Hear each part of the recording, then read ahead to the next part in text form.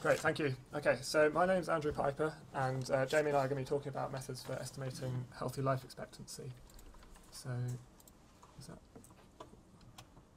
Uh, so just to introduce ourselves briefly, so we're from LCP Health Analytics, part of a broader consultancy and technology firm, uh, a relatively new department, and um, we've got our five service areas listed on the right. Jamie and I are in the, the HEAL team, so health economics focused. Um, uh, so first introduce HLE. Um, so what is healthy life expectancy, or HLE? So put simply, it's the it's an estimate of the number of years of good health that a person will spend over their lifetime. So similar to QALYs, um, it incorporates both the mortality and the morbidity of a population in one measure. What are its applications? Um, so it's widely used as a measure of inequality. It's published regularly by the ONS, and in 2022 the UK government incorporated it into its levelling up mission. So it set two goals for HLE, one of which was to increase it by five years by 2035, and then the second goal was to reduce the inequality gap between the most deprived and the least deprived areas. Um, as well as being a measure of uh, general health, you can also apply it to specific disease areas. So you can look at the uh, number of years spent free of a certain disease, as well as the number of uh, years spent in general good health. Um, in terms of how it's calculated, so Jamie and I are going to be talking about two of the most common methods. So that these are the Sullivan method and multi-state models. And we'll also talk about the advantages and disadvantages of each one and when we might look, look to use each method. And finally, why, why use R? Um, so some of the methods, the Sullivan method in particular, can be implemented in Excel, um, but uh, as with a lot of uh, computationally heavy processors, um, if you're looking to do repeated calculations, R can be useful for automating things and also for multi-state models. Jamie's going to talk about certain R packages that can be used to implement that. So I'm going to start by talking about the Sullivan method. So the Sullivan method is the simplest and most widely used method for estimating HLE. And its data requirements are fairly, fairly simple. Um, so you need mortality rates and health prevalence rates, so that's the proportion of people in good health at a certain age. Um, so that's cross-sectional data just at a point in time for a given population. And the calculations can be Im implemented in Excel. There's an ONS template available. Um, but if you're, as I mentioned earlier, if you're looking to repeat calculations, R can be very useful for automation. Uh, got a chart here which illustrates uh, life expectancy and healthy life expectancy. So this is looking at the survival of a population over time. And if we look at overall survival, so that would be the, the blue and the red area, uh, that's going to give us the life expectancy. If we want to look at just healthy life expectancy, that's just the time spent in good health. Um, that's the blue area. So I'm going to talk through some code for using the Sullivan method. So this is a, a fairly simple function. Um, the inputs it takes, as I mentioned, are the mortality rates and the health prevalence rates. Um, and we also need to specify the ages that we're going to calculate it for. So it's worth choosing a sensible limiting age, i.e. the oldest age that we're going to model outputs for. Um, oldest age that you assume people are going to live to, typically that would be 100, 110 or 120. And then the idea is that the, the function will be able to output life expectancy and healthy life expectancy at each of those ages. Um, the kind of first half of the, the function here is some standards uh, actuarial life table calculations. So essentially setting up a cohort of lives and tracking them over time as they age. The second part of the function is the healthy life expectancy part of it. So the way that this is set up is you take your cohort of lives, you multiply it by your health prevalence data. So we've got that first highlighted line there, which um, effectively creates a second cohort of just healthy lives, so, so people in good health, and then we effectively track those in a separate life table over time. Uh, the line below that, TX healthy, then sums up all of those expected life years spent in good health uh, for the population, and then if we divide that through by the number of lives at, at, at the starting age, so LX, the line below, we get the healthy life expectancy. So I've got a slight illustration of how that works in the table down here. Um, so the orange column on the left is tracking the overall number of lives. We then take the proportion of those that are in good health, the health prevalence rate, so 80% for example, and then convert that to an estimated number of healthy lives. We sum up over all future years to get the future years of good health, and then we divide through by the size of the population to get healthy life expectancy. And then we can output that at each year of age. And I just got an illustration here of one of the applications. So clearly that, that function itself is, is, is relatively simple. It's something that could be done in Excel, but if we're looking to um, we're looking to automate it and run multiple calculations, uh, then we can effectively loop through the function. So what we've done here is we've applied the Sullivan function described before to ONS data on mortality and health prevalence uh, across various local areas. Uh, and I've got a couple of charts at the bottom here just illustrating some results. So we've compared healthy life expectancy by age across a few, few cities in Yorkshire, and then on the right-hand side, we've looked at the correlation between female healthy, healthy life expectancy and population density. So seeing that areas with slightly lower population density, perhaps more rural areas, have generally slightly higher healthy life expectancy. Um, and I guess important to highlight the third point. So although the ONS does publish healthy life expectancy, I guess where the code could really be useful is if we're looking to model the effect of interventions. So let's say we wanted to model the effect of perhaps a smoking cessation program um, or the effect of a new drug in terms of what it's going to do to healthy life expectancy. We could tweak the underlying mortality and health prevalence rates, effectively shift those curves in that left-hand chart to model the effect of the intervention. So that's the Sullivan method, and I'm going to hand over to Jamie now to talk about multi-state models. Thank you. So I'm now going to give a quick overview of perhaps some more familiar methods in the health economic world uh, using multi-state models to model healthy life expectancy. So brief overview, some of which likely to be quite familiar from Markov multi-state models uh, used in health economics. Um, multi-state models can be used to model any system characterized by a discrete set of states. So for healthy life expectancy, we can use a simple example of a three-state model, including a healthy state, an ill health state, and a death state. Of course, for specific disease areas, you can add in other states to incorporate phases of disease progression. Uh, but for the simple example, we'll just use the three-state model. Recoveries or backwards transitions uh, between health states can also be included in these models to allow for improvement in health. But again, just for illustrative purposes and conceptual purposes on the next slide, we just consider the forward transitions here. The transition rates can be estimated generally in one of two ways either using longitudinal data in regression-based models, or they can be set based on expert opinion in non-regression-based models. Um, being our focus, this is going to use, there's lots of packages for multi-state modeling in R, but this focuses on the MSM package, um, which is obviously a regression-based model. There are several assumptions required for MSM. First, of course, the Markov property. Uh, Semi-Markov models can be considered in other packages, but the package we use for estimating healthy life expectancy is dependent on the output of the MSM package. The second assumption is that baseline hazards have a parametric form, so this means they can be modelled or captured by some sort of mathematical formula. And then the third thing is that MSM works for continuous time Markov models. So once we have our multi-state models set up, we can then calculate healthy life expectancy as the expected time spent in the healthy state. And in the conceptual uh, problem where we're not considering recoveries, then this is simply the area under the survival curve for the healthy state. Of course, when those backwards transitions are included, we're then looking at areas between curves. These life expectancies can be calculated R using the elect package on the MSM output, this package is essentially performing numerical integration to estimate those areas under the curves. One of the key assumptions for the elect package is that the baseline hazards defining each transition increase exponentially with age, so that in other words they're Gompertz distributed, and we also need to specify a baseline state distribution as an input into the elect package. So I'm now going to walk through some simple code for implementing this in R. So first, the data input, as I mentioned, this requires a longitudinal data set that has a single row for each observation as an individual. So as you can see in the table on the right or left of that screen, um, there's a ID column to give the identifier for the individual, and then each row contains the age and state that individual was in at each observation. There's a fourth column that contains the indicator for whether this is a baseline state or not in order to run the MSM package, we first um, specify the Q matrix, which defines the allowable transitions between states.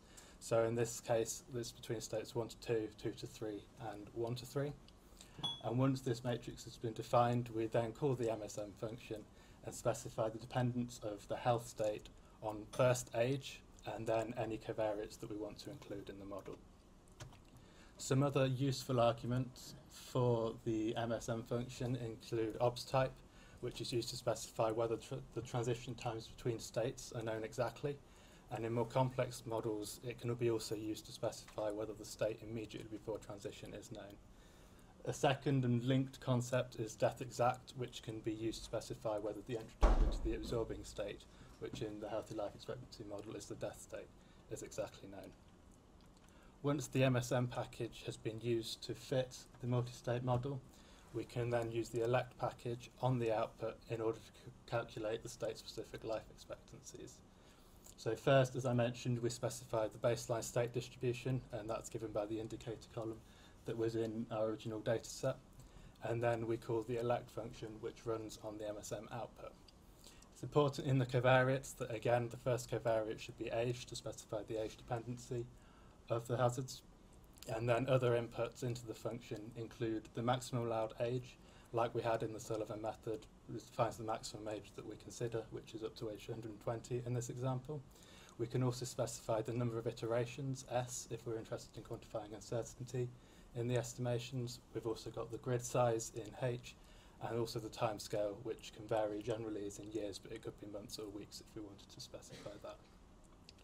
Once we run this function, we then get an output that provides uh, point and mean and standard error estimates for each of the state-specific life expectancies.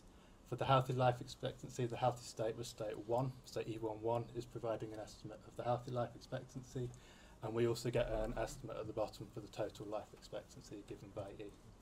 So that's a very quick overview of multi-state modelling for healthy life, ex uh, life expectancy, and I'll hand back to Andrew to summarise. Great, thanks Jamie. So just to recap on what we've discussed, so we've got these two methods for estimating healthy life expectancy. Uh, Sullivan method is a slightly simpler one, uh, incorporates health prevalence rates into standard life table calculations. It's generally a fairly calculation-like method, um, which just relies on cross-sectional data, but can be scaled up for multiple calculations quite easily. Um, and that's, that's yeah, often where R comes in and can certainly help with that. Um, on the other hand, we've got multi-state models, uh, which have the advantage that they can project individual patient health trajectories, and they can also allow for multiple health states. So Jamie spoke about the healthy ill-dead model. You could potentially have multiple states of, of sickness, or if you're looking at a particular disease, um, multi-state models tend to be quite flexible in terms of what you can use them for. Um, however, if you're using regression-based multi-state models, the data requirements are often more complex. complex. You often need longitudinal data um, to fit to. So that, that can be a, a disadvantage of using multi-state models. Um, and as Jamie discussed, there are specific R packages like MSM and ELECT which can be used to fit multi-state models and produce HLE estimates. Uh, final point that I want to um, discuss is uh, an idea of whether there might be scope in the future for using HLE in HTAs. So, as I'm sure you're all aware, NICE primarily uses QALYs at the moment to measure the benefits of healthcare technologies. Um, so HLE is uh, an, an, analogous composite measure, takes into account both longevity and health status, um, and it can also be applied to specific disease areas. So I worked on a project recently which looked at the time spent free of uh, CVD events, for example. And um, an advantage of HLE is that in certain situations it might be easier to gather binary health state data, so just whether someone's in good health or not, than the granular quality of life data required for estimating QALYs. Uh, further point to note is that HLE and QALYs can be mapped to each other. So if you assign quality of life scores to the healthy state and the, the, the unhealthy state, 0.9 and 0.5 or whatever, um, then you can generate a, a QALY estimate and, and vice versa. You can, you can um, switch between the two. Um, in terms of uh, sort of another broader uh, value point on HLE, um, linking it back to the point about the government targets earlier, um, analysing the impact of interventions at a local and national level can provide um, uh, sort of an intuitive understanding of, of, of, intervention's contribution towards government HLE targets. There's that kind of broader uh, perspective as well. So that's uh, all in terms of content, and um, yeah, opening up for any questions.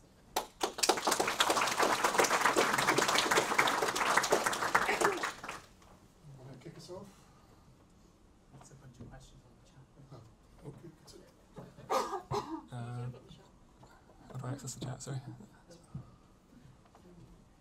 can ask a question while you're on that. Sure.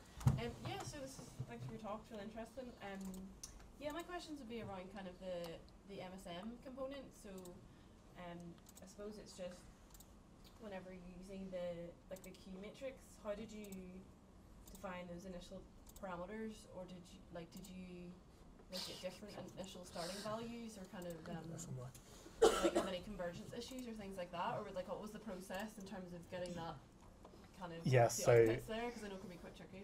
It can be can be quite tricky. That was very much a trial and error. Op- optimize it, try different values, and see how the convergence looked uh, towards the end of it. So yeah, it was very much a process of Yeah.